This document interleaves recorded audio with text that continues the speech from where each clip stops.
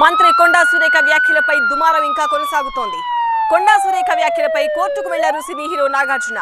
నాంపల్లి కోర్టులో పరువు నష్టం దావా వేశారు నాగార్జున. తన కుటుంబ పరువుకు భంగం కలిగించారని పిటిషన్ వేశారు. కొండా సురేఖపై క్రిమినల్ చర్యలు తీసుకోవాలని పిటిషన్ వేశారు. BNS section three fifty six కింద కొండా సురేఖను శిక్షించాలని నాంపల్లి కోర్టులో నాగార్జున పిటిషన్ వేశారు. ఈ రోజు నాగార్జున పిటిషన్ విచారణకు వచ్చే అవకాశం ఉంది.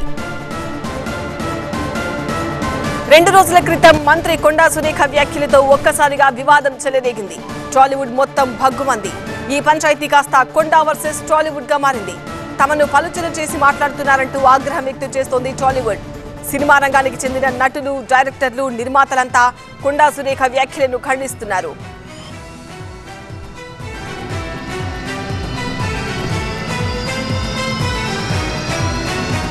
మరింత సమాచారం TV nine principal correspondent Praneetha లైవ్లో అందిస్తారు. ప్రణీత నాగార్జున కోర్టులో పిటిషన్ వేశారు. BNS section three fifty six కింద కొండా సురేఖను శిక్షించాలని పిటిషన్లు పేర్కొన్నారు.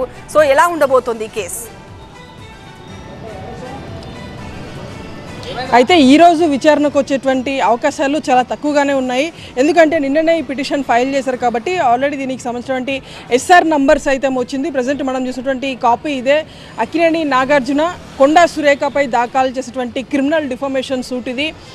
బిఎన్ఎస్ త్రీ ఫిఫ్టీ సిక్స్ ప్రకారం ఆమె మీద డిఫర్మేషన్ యాక్ట్ కింద క్రిమినల్ కేసులు నమోదు చేయాల్సిందిగా నాగార్జున ఈ పిటిషన్ని ఫైల్ చేశారు. గతంలో ఇంతకుముందు ఇదే ఐపీసీలో ఫోర్ నైంటీ నైన్ సెక్షన్తో పాటు ఫైవ్ హండ్రెడ్ సెక్షన్ ఉండేది.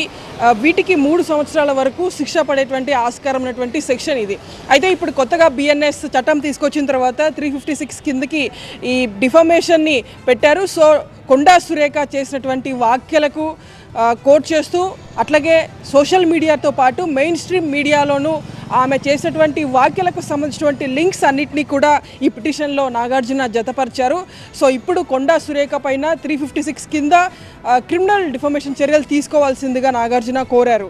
అయితే ఈరోజు ప్రాసెస్ ఒకటే ఉంటుంది. ఇది ఈ పిటిషన్ ఒకవేళ బెంచ్ మీదకి వస్తే ప్రజెంట్ నాగార్జున మెన్షన్ చేసినటువంటి సాక్షులు ఎవరైతే ఉన్నారో వీరికి సమన్లు జారీ చేస్తారు నాగార్జునకి సమన్లు జారీ చేస్తారు. సో వీరి స్టేట్మెంట్ రికార్డ్ చేసిన తర్వాత కోర్టు వీరికి ఒక సీసీ నంబర్ జారీ చేస్తుంది. ఆ సీసీ నంబర్ వచ్చిన తర్వాత రెస్పాండెంట్ అంటే కొండా సురేఖని ఎక్స్ప్లెనేషన్ కోరుతూ కోర్టు సమన్లు ఇచ్చేటువంటి అవకాశం ఉంటుంది. సో ఈరోజు విచారణకు వస్తే కనుక మొదట జరిగేది పిటిషనర్ స్టేట్మెంట్ రికార్డ్ చేయాల్సి ఉంటుంది. మొదట ఆ ప్రాసెస్ ఉంటుంది. సో ఈరోజు నాంపల్లిలో ఉన్నటువంటి మనోరంజన్ కోర్టులో ఈరోజు పిటిషన్కి వచ్చేటువంటి అవకాశాలు చాలా తక్కువగానే ఉన్నాయి. ఎందుకంటే ఎస్ఆర్ నంబర్ వచ్చినప్పటికీ ఈరోజు వస్తుందా లేదంటే సోమవారం ఇది బెంచ్ మీదకి వస్తుందా చూడాల్సి ఉంది సో ఈ పిటిషన్ సారాంశం అయితే ఒకటే.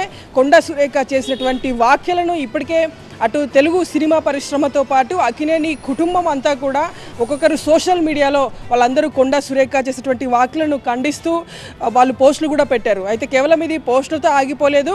ఖచ్చితంగా క్రిమినల్ డిఫర్మేషన్ సూట్ని ఫైల్ చేసి ఆమె మీద క్రిమినల్ చర్యలు తీసుకోవాల్సిందిగా కోరారు. ఒకవేళ కోర్టు నుండి సమన్లు వెళ్ళాల్సి వస్తే లంగరౌస్ పోలీసులు ఆ సమన్లు కొండ సురేఖకు జారీ చేయాల్సి ఉంటుంది.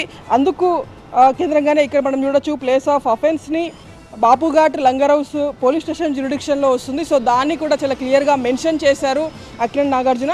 సో ఈరోజు వస్తుందా రాదా అనేటువంటి అంశం మరి కాసేపట్లోనే తేలనుంది రైట్ ప్రణీత